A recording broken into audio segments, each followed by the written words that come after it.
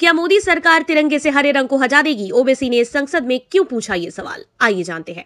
AIMIM प्रमुख Asaduddin OBC ने बुधवार को लोकसभा में प्रधानमंत्री नरेंद्र मोदी पर जमकर निशाना साधा। संसद में बोलते हुए हैदराबाद के सांसद ओबीसी ने कहा, क्या मोदी सरकार तिरंगे से हरे रंग को हटा देगी? सरकार को हरे रंग से इतनी समस्या क्यों है? उन्होंने पूछा, क्या पीएम मोदी चीनी घुसपैठ पर बोलेंगे? क्या बिल्किस बानो को न्याय मिलेगा?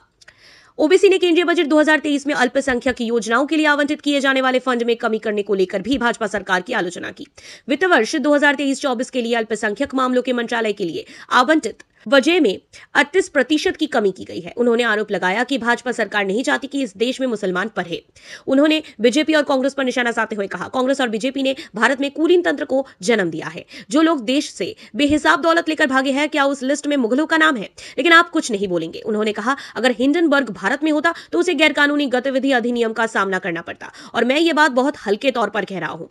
न्यूयॉर्क स्थित निवेशक अनुसंधान फर्म हिंडनबर्ग रिसर्च में गौतम अडानी के नेतृत्व वाली कंपनियों पर स्टॉक के हेरफेर और धोखाधड़ी का आरोप लगाया था। इस रिपोर्ट के बाद अडानी ग्रुप की कंपनियों के शेयरों में गिरावट आई है। यूएपीए एक आतंकवाद विरोधी कानून है, जिसे असाधारण परिस्थितियों के लिए तैयार किया गया है। ये 180 दिनों तक बिना जुर्माने के हिरासत में रखने की अनुमति देता है।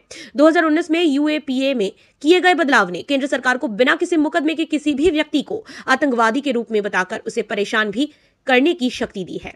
ओवैसी ने आगे कहा है, मेरा अनुरोध है कि पूजा स्थल अधिनियम को भंग नहीं किया जाना चाहिए।